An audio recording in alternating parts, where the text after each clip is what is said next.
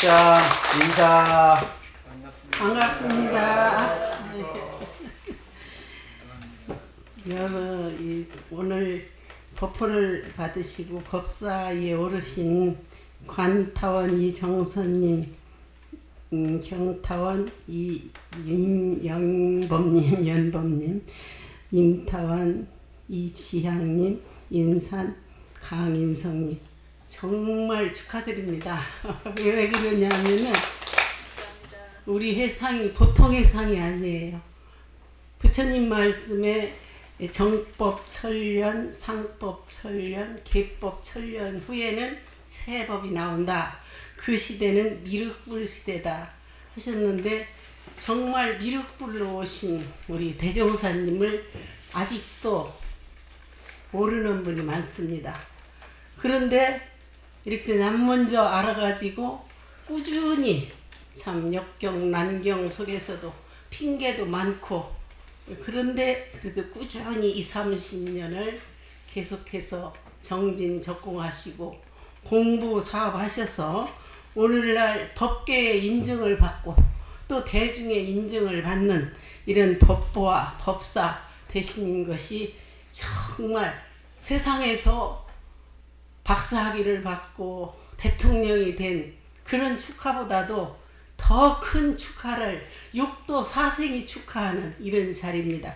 그래서 저도 왜냐하면은 이 법포나 법사를 받은 이 공부는 바로 성부로 길을 딱 들어선 겁니다. 그 대열에 선 겁니다. 그럼 성부를 하면은 육도를 내 맘대로 한다고 했잖아요. 그러면 성부를 하셔서 육도를 내 맘대로 임의로 할 수 있고 또 어, 현업을 돌파하고 생사를 자유한 그런 음, 대열에 서신 것이 너무나 축하할 일이에요. 왜냐?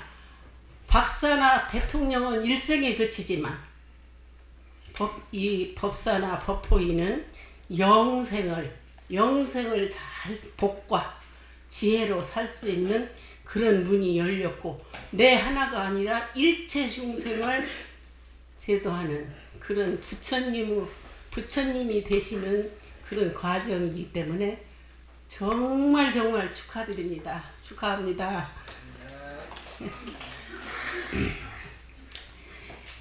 저는 충청도 저 계룡산 밑에서 태어났는데 6.25 가정에서 났어요. 그러니까 우리 아버님은 맨날 이 지관을 끼고 명당을 써야 자손이 발복을 한다. 예를 들어서 좋은 자리 명당을 쓰면 아들이 대통령도 될 수 있고 장관도 될 수 있고 딸은 또 뭐 정경부인이 되고 그러시면서 그렇게 공을 들이셨는데 제가 12살 때 모든 음, 저, 저기 사람들을 보면은 아, 어떤 사람은 자식이 소아마비가 걸려서 절름발이가 있고 또 어떤 사람은 부모가 앞을 못 보시는데 자녀들은 또 멀쩡하고 그래 다 동네 사람을 다 보면 다 틀려요. 그런데 마침 우리는 그때는 원불교 모를 때 우리 절이 있었어요. 계룡대 계룡대 바로 뒤에 향적산이라는 그 향적산에 이런 큰 바위 밑에 법당을 해놓고 거기 가서 이렇게 공을 들여요. 그래서 어머니가 아들 날라고 공 들이러 다니실 때 저도 따라가서 기도도 하고 그랬는데 예, 거기 그 산이 깊기 때문에 6.25 때, 6.25 때 빨치산이 많이 숨어 있으니까 불을 질렀어요. 그래가지고 그 절이 타버린 거야, 저 생활관이. 그러니까 그 스님이 우리 집을 향해서 우리 어머니가 제일 가는 신도라서 오셔서 우리 아버지가 이제 뒷동산에다가 초가삼칸 절을 져가지고 맨날 우리 집 와서 밥 잡수고 이렇게 놀다 가고 근데 내가 동네 사람을 다 물어보는 거예요. 저 사람은 왜 저래요? 저 사람은 왜 저래요? 귀찮으셨던가? 책자를 하나 갖다 줬는데 그것이 지금 보니까 제복 보응경이에요. 죄와 복을 보응하는 인과보응하는 아 거기를 읽어보니까 전부가 전생에 지은 거더라고요. 전생에 막 보시를 말미하고 막 부처님을 잘 섬긴 사람은 아주 또 훌륭하게 되고 또 전생에 죄를 많이 지은 사람은 봉사도 되고 뭐 이런 그써 있어요. 하, 그때 내가 그때 나는 인과를 깨쳤죠. 아 그렇지. 그러면 그렇지. 만약에 하나님이 주시고 알라심이 주신다면은 똑같이 성냥각 나오듯이 똑같아야 되는데 왜 형제간도 다 틀리냐? 성격도 틀리고 운명도 틀리고 왜 모든 게 다 틀리잖아요. 아, 그래 나는 확실하구나. 이게 지코 받는 것이 확실하구나. 그때부터 그 안목이 죄와 복에 대한 그 인과응보에 대해서 이렇게 비교를 해지고 그때부터 알게 됐어요. 그래서 지금도 소원이 뭐냐면은 이거를 깨쳐줘야 하고 알려주고 싶고 우리 조카가 교회를 열심히 다녀. 야 교회 다니면은 천국이 참말로 있냐? 그랬더니 죽어봐야 알죠. 죽으면 한다고 그랬어요. 그래서 참 너희들은 참 편하게 믿는다. 목사님이 참 편하시겠다. 그리고 그냥 그런 것들이 참 안타깝더라고요. 아, 지가 짓고 지가 받는 건데 저거를 그렇게 믿고 헛믿는구나 이렇게 싶고 그래서 이제 이거를 어떻게 깨우쳐 줄까 지금도 막 쫓아다니며 그 알려주고 싶은데 제가 여기서 퀴즈를 하나 내겠습니다. 우리 대종사님이 28년간을 설국을 하셨죠. 그러면 정전, 대종경 뭐 여러 말씀을 하셨는데 그 중에 대종사님께서 가장 시급한 일이라고 하신 법문이 있어요. 뭘까요? 아시는 분은 제가 상 드리려고 해요. 상품 가지고. 크게 해주세요. 크게. 불세불대의 진리와 인과보호되는 이치를 스스로 깨쳐 알도록 아이고 맞습니다. 네. 상품 받아가세요. 우리 대종사님께서 저기 이 진리가 시급하다고 하셨는데 여기 여기 법사님도 나오시고 두 분이 맞히셨으니까 두분 드리게. 제가 왜 이걸 이걸 권장하냐면은 요거에서 건강을 찾았어요. 제가 83세인데 저같이 이렇게 건강하게 뛰어다니는 사람이 드뭅니다. 근데 저도 이거를 몰랐을 때는 많이 아팠어요. 근데 3년 전부터 이걸 했더니 아주 건강해. 허리도 안 돼. 받아가세요. 같이 마시셨잖아. 같이 얘기하셨잖아요. 예, 두 분 건강하시라고. 이거에다가 우리 모든 신경이 목을 타고 내려가잖아요. 근데 목을 목이 모든 신경을 다 살려내더라고 이것이. 그래서 저는 아침마다 일원상 서원을 하면서 이렇게 목을 흔들고 그 다음에 이제 어깨 여기 등에다 하고 하면은 막 허리뼈가 으드득 으드득 으드득 맞춰져요. 우리 언니가 참 배드민턴 하고 아주 건강했는데 80대니까 탁 허리가 굽어요. 아 이래서 굽는 거네. 아침에 일어나면 허리가 펴기가 싫어요. 이렇게. 근데 이걸 하고 나면 쫙 펴지고 쫙 펴지고. 그래서 제가 이런상 서험을 하면서 여기 하고 여기 하고 다 해가지고 이렇게 건강하게 다닙니다. 그래서 여러분 이거 많이 하시라고 제가 홍보하라고. 근데 이거 그렇다고 이거 내가 무슨 장사는 아니고 아, 이거를 알려드리는 거예요. 꼭 이걸 하시면은 건강해집니다. 그래서 왜 대종사님께서 가장 시급하다고 하셨을까요? 여러 말씀 중에 가장 시급한 일이 불생불멸의 어, 진리와 인과보호 이치를 믿고 깨닫게 하는 일이다. 왜 그러셨을까요? 마음 잘 쓰는 것도 중요하고 화합하는 것도 중요하고 한데 왜 불생불멸 인과보험을 믿고 깨달아야 되나? 이건 상품은 없어도 누가 얘기해 보세요. 예. 네. 상품이 없이 얘기 못하겠대요. 내가 볼 때는 불생불멸과 인과보험의 이치를 믿, 믿고 깨달아야 사람들이 죄를 안 지고 진급을 하죠. 육도 사생에 육도가 천도 인도 수라 아기 지옥 축생이잖아요. 그러면 인도에 있을 때 이, 저, 어, 이걸 믿고 깨달을, 깨달아야 이것이 이제 다음에 또 인도에 태어나지. 만약에 잘못 지어가지고 저 지옥에 나가, 지옥에 나, 저기, 이, 축생에 떨어졌다. 이거 강아지 못 부르게 하죠. 축생에 떨어지면은 이런 것만 공부, 우리 법이 좋아도 공부할 수가 없잖아요. 그래서, 아, 대종사님이 그래서 이거를 깨닫고 믿으라고 하셨구나. 근데 여러분, 다음 생이 꼭 있다고 생각들을 하시잖아요. 여기서 뭐 다음 생이 있어? 하- 그렇게 아는 사람 한번 손 들어보세요. 그냥 대종사님이 착하라고 하신 우리 오라버니들은 지금도 그래요. 아 대종사님이 착하라고 하신 말씀이 무슨 내성이 있냐고. 그 우리 대종사님께서는 분명히 추나 추동 변하듯이 우리 인생도 생로병사 또 생이에요. 그래서 다시 태어나는 걸 확실하게 못 믿겠다.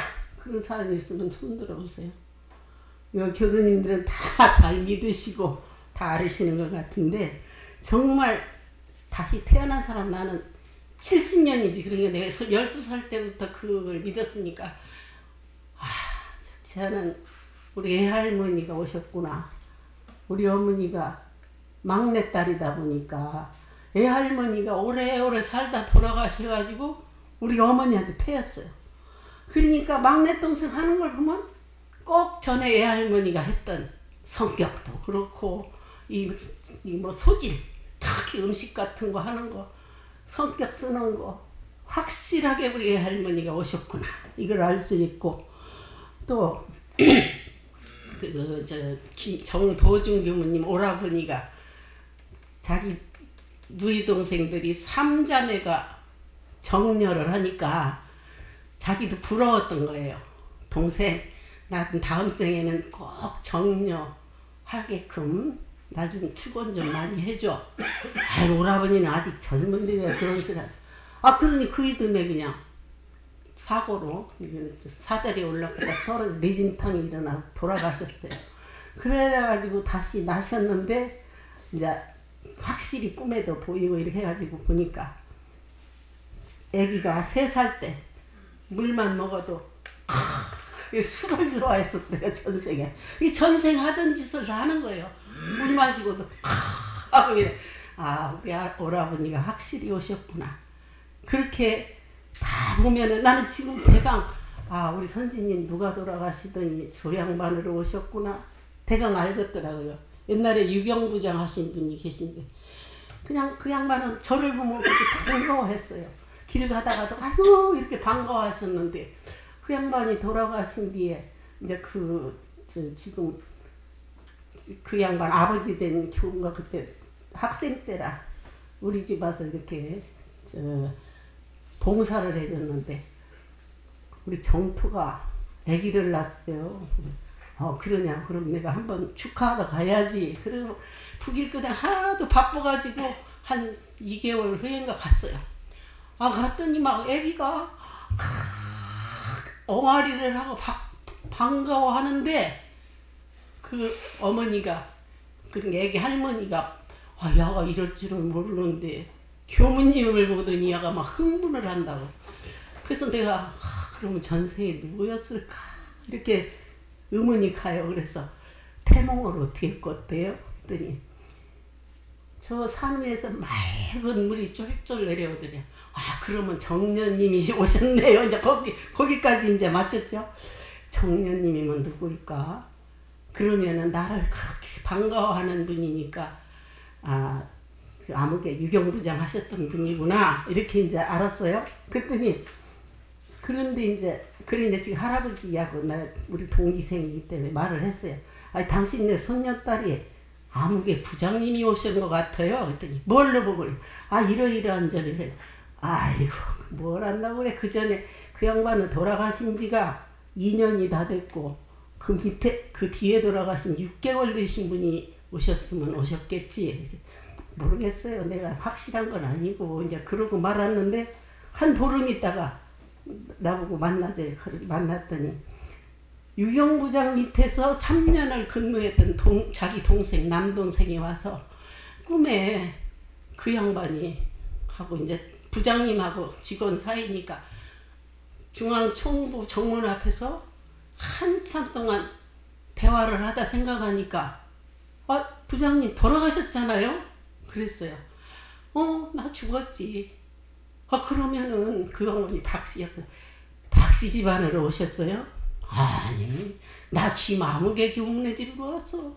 확실하게 그 교무 이름을 대더라는 거예요. 그게 내가 맞춘 거예요. 그래서 그 부장님이 1년 6개월 2년이 다 됐어도 기다려 그 이- 그렇게 돌아가신다고 금방 오는 게 아니더라고요 어디 한 바퀴 돌아서도 오고 연계해서 있다가도 오고 그래서 확실히 내 말이 맞다는 걸 인정받았거든요. 근데 지금은 이제 대강 다 알겠어요. 아 누구네 집이 누구가 왔구나 이 정도는 이제 알아지더라고요. 근데 뭐 이런 거 알라고 공부한 건 아닌데 그런 안목으로 보면은 이렇게 다시 확실히 그 집안으로 그 집안 아니어도 이렇게 우리 같이 이제 집, 뭐 저기가 없는 데는 뭐 집안 아닌데도 갈 수 있고 그렇죠. 근데 그 어떤 분이 이제 불교를 확실히 평생을 믿은 사람이 있어서 내가 이런 얘기를 하니까 절대로 아니래요. 저기 이제 어, 극락에 가 자기는 극락에 가기를 소원했대요. 그 극락이 어디 있어요? 극락이 어디? 부처님 말씀에 10만 8천리 서쪽으로 서쪽으로 10만 8천리를 가면은 극락이 있다. 거기에 한 그리 가려고 자기는 공부를 한대요. 로켓 쓰면 그 10만 8천리에 못 갈까요? 내가 생각할 때 뭐 영국이나 뭐 스페인 그런 데 가면은 될 것 같은데 그런데 대종사님께서 그것이 아니다. 10만 8천리 가서 극락이 있는 게 아니다. 어디에 있다고 생각하세요? 우리 원사님 어디에 있어요? 극락이. 예. 우리 원사님은 그냥 공부를 많이 하셔가지고 척척 다 맞추네. 이제 상품은 없습니다. 저기 태종사님께서 뭐라고 해석을 하셨냐면은 바로 법신불 유론상이 재불대성은 시민요 일체중생 본성이라고 했잖아요. 그 본성짜리 일원상 진리짜리 그게 바로 극락이다. 그러면 그 극락을 가려면 어떻게 해야 되느냐? 우리 계문에 몸으로 짓는 거, 입으로 짓는 거, 마음으로 짓는 거, 시박 열 가지 몸으로 살도 음 그러면 세 가지지요. 그 다음에 기어 양설 악고 기어 망어 양설 악고 입으로 짓는 거 특신급에 있죠. 그거 네 가지. 그 다음에 범마 상전급에 탐진치 이렇게 열 가지 악을 떼면은 또 팔사 정견 정사 정로 이거를 다 사특한 그 마음을 떼고 떼면은 그 자리가 바로 극락이다. 이렇게 대종사님이 해석을 해주셨어요. 그 나는 대종사님이 아 서가모니 부처님 후신이시라더니 당신이 옛날에는 인지가 미개하니까 그렇게 설명을 해주셨고 이제 오셔서 확실하게 우리한테 알려주시는구나. 대종사님이 서가모니 후신이라는 거 여러분 잘 알고 계시죠? 예? 여러 여러 군데 나타났잖아요. 진목스님으로도 나타나고 최수원 선생으로도 나타나고 대, 이 우리 한국에다 공을 많이 들이셨다 고 그러잖아요. 그러면 대종사님께서 당신이 하신 방편설을 이 생에 오셔서는 그냥 바로 왜냐 인지가 발달됐기 때문에 그렇죠. 지금 얼마나 인지가 발달됐습니까? 또 그것뿐 아니라 또 방편설이 뭐냐면은 탑돌이 하잖아요. 저 해이사 불경이고 탑을 돌잖아요. 티벳 같은 데서는 만이라는 걸 돌리고 그러면 그러면 극락 가는 줄 알아요. 근데 그 탑을 도는 것은 네 마음이 네 몸을 돌아보라는 거다. 그 여러분들 매일매일 상실이 쓰잖아요. 아 오늘 내가 무슨 죄를 졌나. 이것이 이렇게 해석을 해주시는 거예요. 또 민자연화라는 분이 대종사님이 식사하다 요만큼만 냉시면 꼭 그걸 먹으려고 옆에가 기다려. 그게 부처님 잡수던 밥을 먹으면 부처 된다고 해서 어, 그런다고 하니까 대종사님께서 그게 아니라 부처님을 그렇게 가까이 모시면은 자연히 부처님 행을 보게 되고 부처님 말씀을 듣게 되고 그러니까 부처의 길이 빠르다 그 말이다. 이렇게 모든 미신스럽고 저기 한 거를 다 해석을 해주셨잖아요. 그래서 우리 대종사님은 참으로 어, 3천년 만에 오신 미륵불이십니다.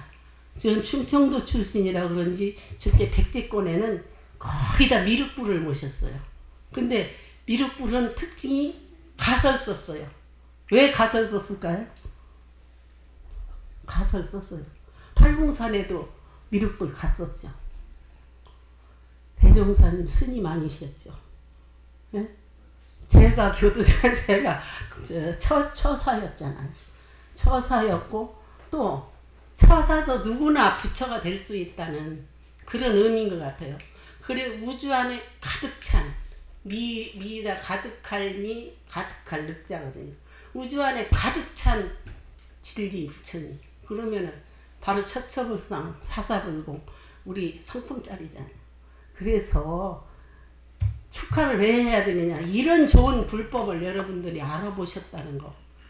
우리 그 전에 제가 처음에 영도 부교할 때만 해도 요 불교 신도들이 그때 참 교화가 잘 됐어요. 왜냐? 불교하고 원불교하고 둘이 아니라 알았어. 절로 알았어.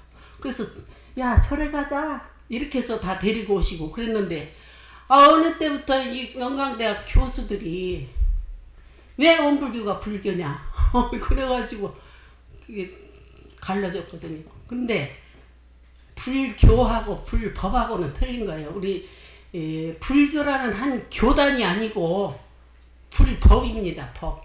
불법. 그러니까 우리 인과품 3장에 보면은 아니 서품 3장에 3장에 보면 그 말씀이 있어요. 불법은 천하의 대도다. 왜?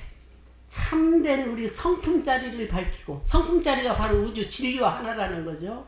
성품을 밝히고 어, 인과응보, 인과의 이치를 드러내고 수행의 길을 갖추어서 그, 그 인과를 깨트기끔 해주고 생사를 해결할 수 있는 그런 수행길을 밝히시고 또 그래서 수행길을 밝히시고 어 그래서 저기 모든 교법에 뛰어난 바 있나이라 그러셨잖아요. 그래서 여러분들 참 우리 교법을 알아보고 이렇게 공부하시는 분이 참 경계가 많습니다. 핑계가 많고 어, 유지비라는 것이 좀 부담스러워서 못 나오는 분도 있고 또 누구가 꼴 보기 싫어서 안 나오는 분도 있고 또 가정에 무슨 우한이 있어서 뭐 또 여러 가지 이유가 있고 근데 내가 그 전에 보니까 중학교 때 지금 엄마가 정신 이상이 됐어요. 그게 겉으로 보면 정신 이상이지만 접신이 된 거예요. 몸에 신이 붙어가지고 막 미친 짓을 4년을 뛰어들어다니며 했어요. 그러니까 막 교회 다니면서 그냥 주여 이러는 사람인데 교회 가서도 막 신들이 떠들어대니까 싫어하는 거예요. 처음에는 그냥 달래다가 나중에는 목사 사모님이 막 때리면서 나가라. 그러니까 이제 배신감이 들어가지고 교회에서도 나오고 또 절에 갔다 오면 막, 막 3일도 못 돼서 막 도망오고 또 산 꼭대기 가서 죽는다 자살한다고 뛰어내린다고 막 산 저기 김천 가면은 수도산이라고 있어요. 그 깊은 산에 가서 막 낭떠러지 떨어져 가지고 여기가 다 박살이 났어요.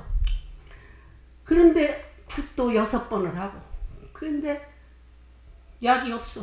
굿하면 굿상 다 뜯어버리고 도저히 어떻게 해볼 수가 없으니까 이제 제가 만날 때는 어떤 교도님이 오셔서 하, 우리 이 문간체에는 세, 세가 세금 낼 돈도 없으니까 그 문간체에 이제 사는데 우리 문간체에는 참 불쌍한 사람이 있어요. 왜요? 아 이만 이만 이만 한데 지금은 밥을 21일씩 굶어요. 21일을 그, 그래도 안 죽고 이제 사는 거예요. 헛소리만 하고 넣었어요. 기운도 이제 지쳐가지고 그 남편이 오지가면 하, 뭐가 저 여자나 주워가면 좋겠다. 그래서 내가 주소를 갔죠. 주소를. 왜냐하면은 제가 그때 생각에 아 종교가 할 일이 무지와 질병과 가난에 허덕이는 사람을 구제하는 것이 종교의 본질이라 했는데 어 내가 이번에 그걸 한번 해봐야겠다. 49일 동안을 내가 그냥 원을 세우고 그 사람을 그냥 무조건 데려다가 천도제를 했어요. 거기에 붙은 신들을 신이 무엇인지 신이 붙었는지 전, 진짜 정신이 미쳤는지는 모르는데 그걸 구별하려면은 진짜 미친 사람은 눈물이 없대요. 눈물이. 근데 이 사람은 막 울어. 울었다. 웃었다. 노래했다. 한숨 쉬었다. 하프면 이렇게 막 변화를 하루에도 몇 번씩 그래 변하는데 아 이거는 눈물 안, 안 흘리는 거 보니까 이건 귀신이다. 이런 생각해서 이제 이름도 모르게 그냥 그 딸 보고 물어봤더니 딸이 그래요.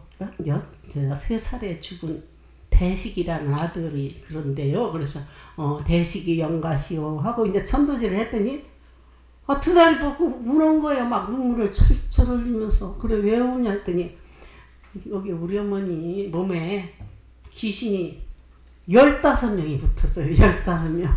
그, 그, 그때 처음 만났을 때 말은 안 해도 이렇게 손을 이래 했거든. 아, 그러면 다 불러라. 어떻게 혼자서 열다섯 명을 해요. 그러니까. 그럼 어떡하란 말이냐. 이 속에 든 사람만 해주세요. 그 속에 든 사람 불러라.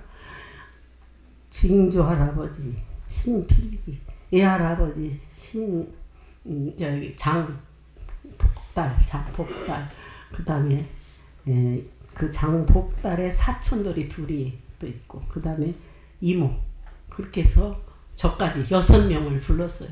그럼 여섯 명을 가지고 내가 아침 저녁 아침 저녁 김천교당이 그때는 새로 앉아가지고 생활관에서 마당을 통과해서 법당을 가야 되는데 새벽 기도를 터 내가 교당 신축하려고 새벽 기도를 하면은 주무님이 꼭 나오시는데 그 주무님이 보더니 아이고 교무님 이 사람은 이 김천 시내 사람 모르는 사람이 없어요. 하도 미친 짓을 많이 하고 다녀서 그러니까 교무님 원불교사 했어도 안 된다고 소리만 들으니까 빨리 손 떼세요.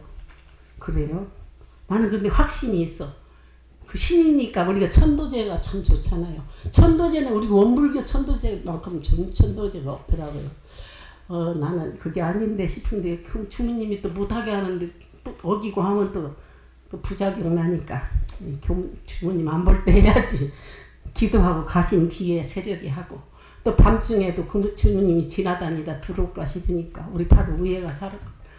그러니까 그냥 밤중에 신고 목탁 9시 반에 신고 목탁 치잖아요. 그러면 12월 달에 9시 반이면 한밤중인 것 같아. 그러면 그때 내가 그 사람만 끌고 들어가서 천도제를 하는 거예요.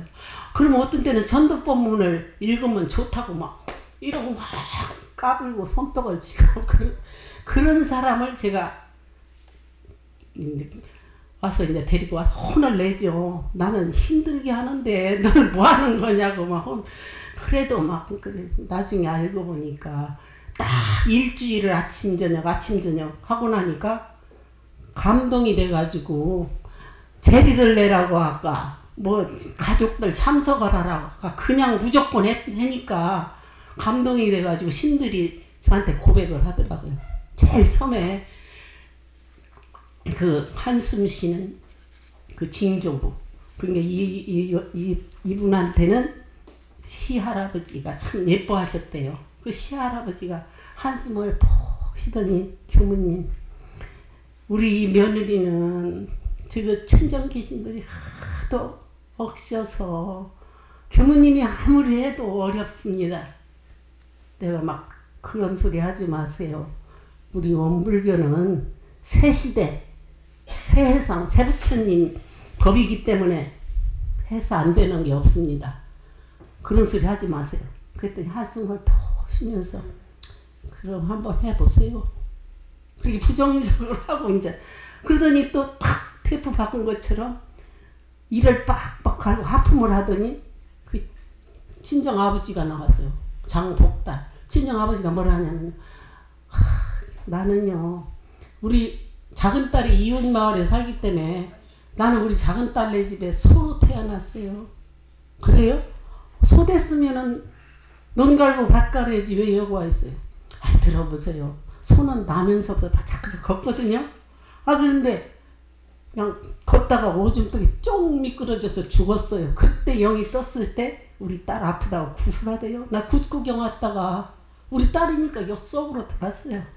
그리고 또 하나 이제 이제 그리고 두 사람은 말이 없는데 또 하나가 휘떡 웃고 막 연분홍 치마가 하고 막 가끔가다 이렇게 노래에 미친 짓을 하는 그게 주인공이었어요. 여동생. 여동생이 교회를 다녔는데 고백을 하는 거예요. 내가요 아들인가 하면 또 딸, 아들인가 하고 나면 또 딸, 다섯 번째 딸을 남편도 모르게 시어, 시어머니도 모르게 그냥 낳자마자 갖다 묻어버렸어요. 그랬더니 이렇게 몸을 안 주셔서 그러니까 천국이 없더라고 몸을 안 주신다는 걸 확실하게 얘기해요.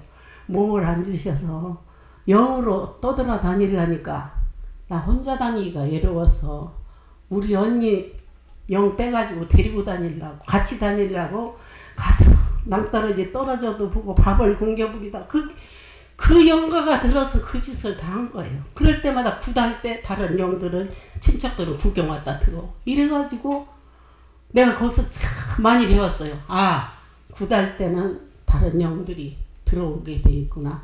그런 거를 많이 깨치게 됐어요. 그래서 새몸 받으려면은 참회를 많이 해라. 그래가지고 참회 하기로 하고 저 부산 범일동 꼭대기 살았는데 참회하기로 하고 보냈어요.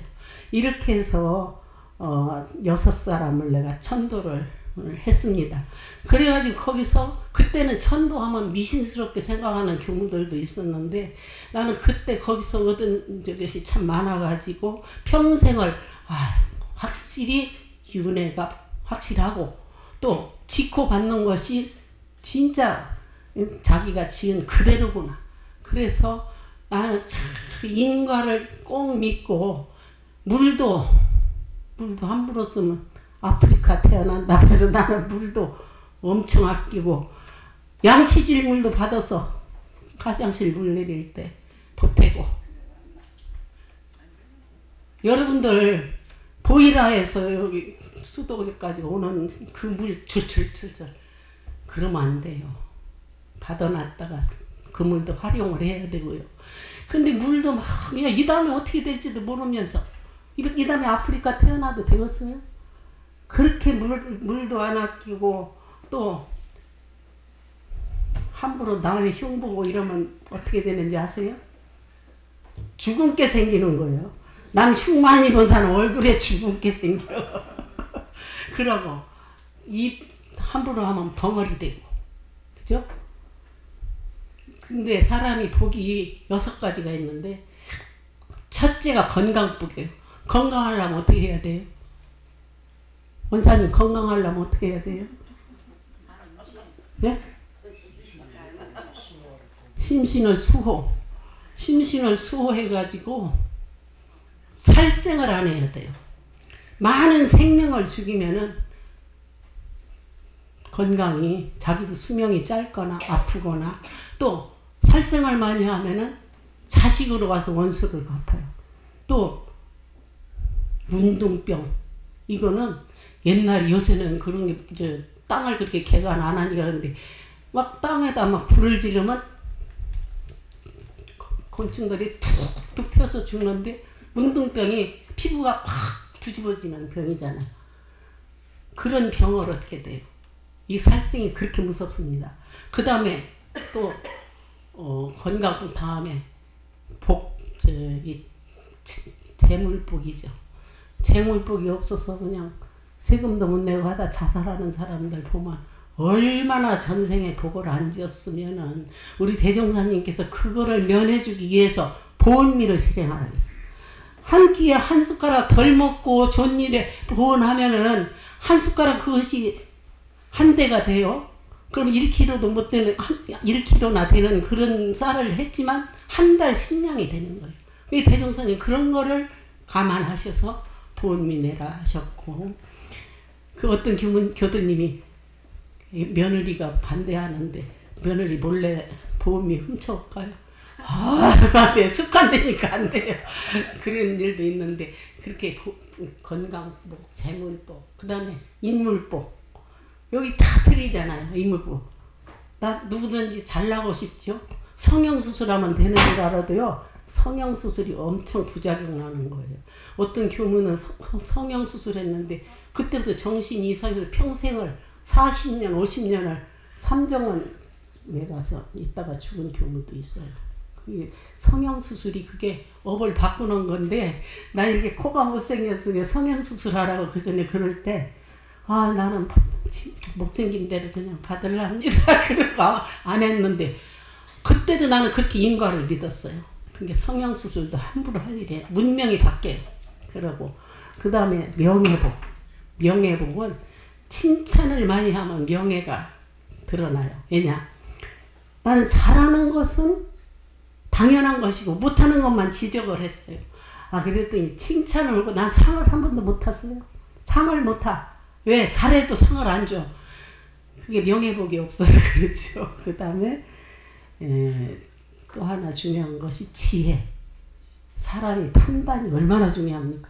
그때 그때 맞는 판단. 우리 사리연고 12해를 분명하게 알아야 되죠.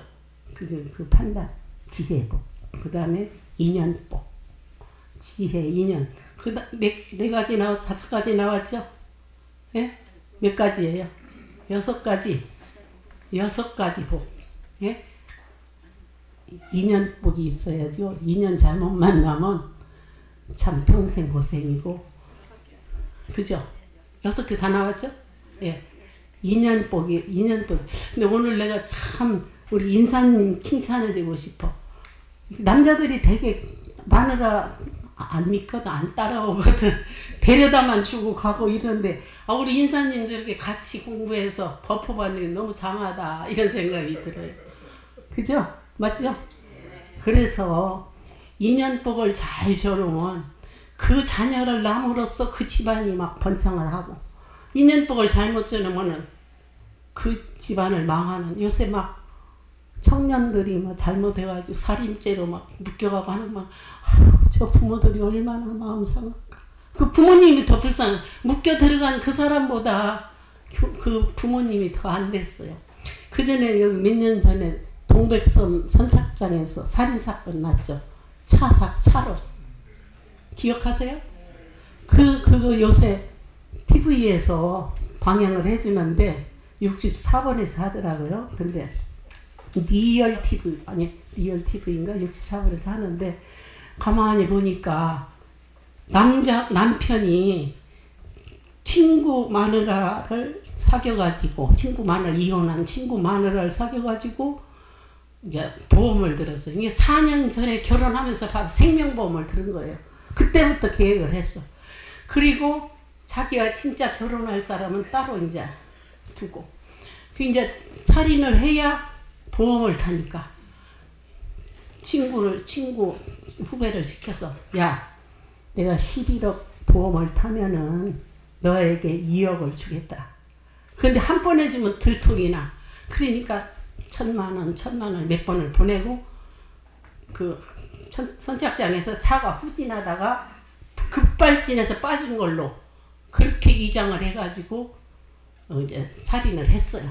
그 형사들이 참 형사 동포은이죠 형사들 고생하더라고 잠도 못 자고 그냥 그게 대개 이래 죄를 지면 15년 후에는 다, 발, 다 이제 알게 되는데 이거는 15년도 안 됐는데 이렇게 나오더라고요. 근데 급발진이 아니고 일부러 하고 자기만 빠지면 여자 못 빠져나오게 창문을 막 꼭꼭 걸어잡고 그래가지고 11억을 탔어요. 그리고 이제 그 사람한테는 미리미리 천만 원씩 몇 번 주고 그래서 그 사람이 인과를 안다면 또 인과를 안다면 푸틴이 저렇게 전쟁을 하겠습니까? 스탈린이 그렇게 많은 사람을 죽이겠습니까? 600만 명을 가스에다 죽였다는 이렇게 해서 인과를 알게 해주는 거, 깨, 믿고 깨닫게 해주는 것이 세계를 평화시키는 거고 그래서 대종선이 시급한 일이라 그렇게 했어요 안 그렇게 했어요? 그러면 박수 한번 주세요 그래서 저는 이렇게 인간을 꼭 믿고 깨닫게 해주는 일에 지금 어디든지 갑니다. 그리고 개인적으로도 빚을 안 지어야 돼요. 근데 나는 나 죽으면 아무도 알리지 말고 시신 기증을 했다. 그래서 시신 기증은 숨지면 바로 그 의대로 가거든요. 그러면 뭐 지금 교무들도 뭐 다 누구 죽었으니까 뭐 온라인 부조금 부의금 넣으라고 온라인 뜨고 하거든요. 그럴 것도 없고 나 죽었다는데 우리 김재원 교무님이 안 올 수가 없잖아요. 그런 바쁜 교무님들 오게 할 것도 없고 그러니까 나는 아무도 모르게 기증한 대로 가게 해주라. 유언을 그것도 공증을 해놓아야 된다네요. 그 내가 유언 공증을 지금 하려고 그랬더니 어떤 교도님이 아이고 교무님 총부에서 묘지 쓸 묘지 살 돈이 없어서 그래요?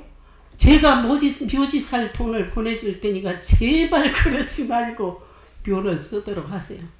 그게 아니에요. 나는 그, 저, 아까 소됐다는 그 사람이 왜 소됐냐고 했더니 빚 갚으라고.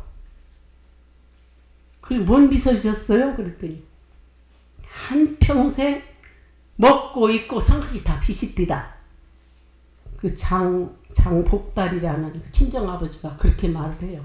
그 사람은 육도가 뭔지 뭐 전혀 모르는데 그 육도 윤회를 그래서 이 우주 밖에 뭐가 있는 거예요. 극락이 있고 천당이 뭐 저, 저 조상이 주고 이런 게 아니라 전부 자기가 지고 자기가 받는다는 거. 이것은 확실해요.